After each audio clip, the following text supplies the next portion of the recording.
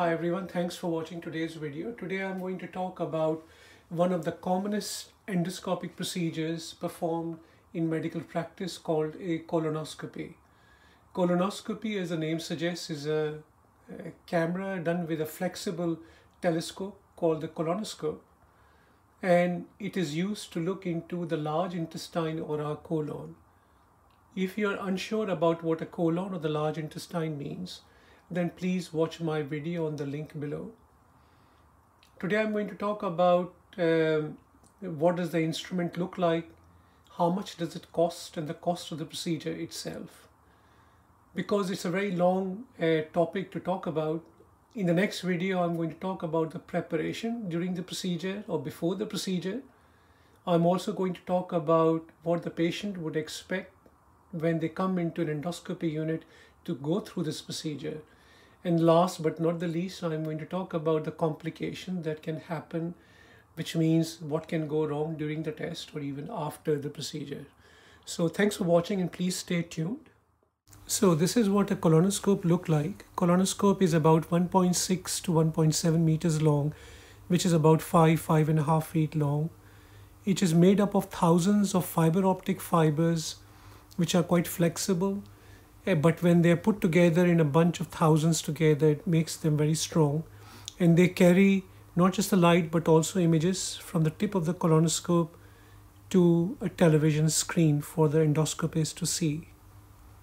So this is uh, what a colonoscope looks like from closer. It has got a couple of wheels which control the tip of the colonoscope through which the light is coming out and those wheels can turn the tip up and down, right and left. It gives fine control to the endoscopist to move the colonoscope around and also to take um, biopsies, cut out polyps, etc. etc. It's got channels through which biopsy forceps can be put down.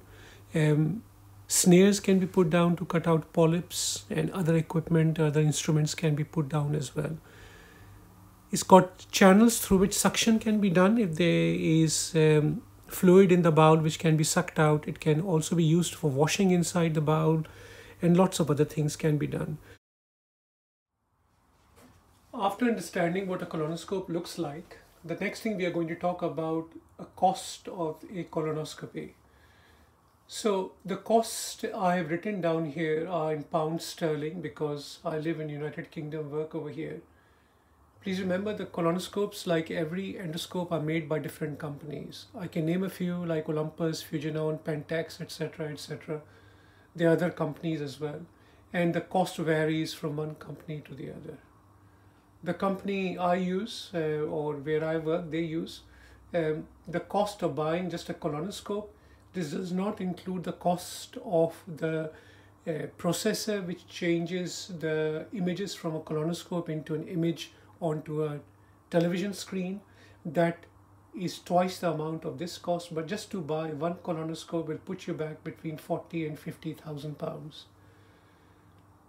Each procedure, a simple colonoscopy which takes about 15-20 minutes to do in the procedure room will cost you about 550 pounds per procedure. That's the cost that goes to the National Health Service.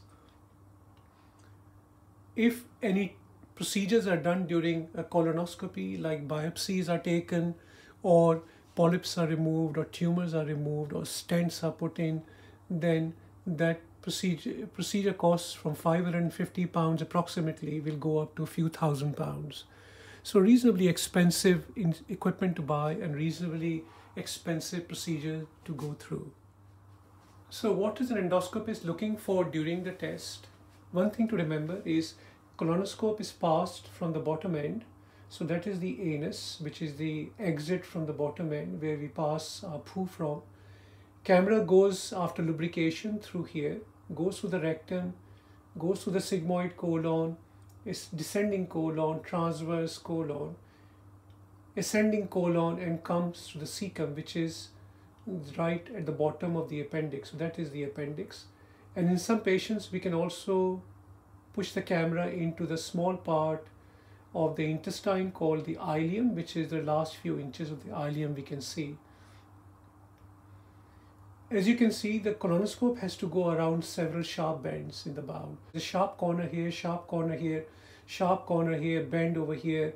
So getting a colonoscope from this end to this end is not possible in every patient.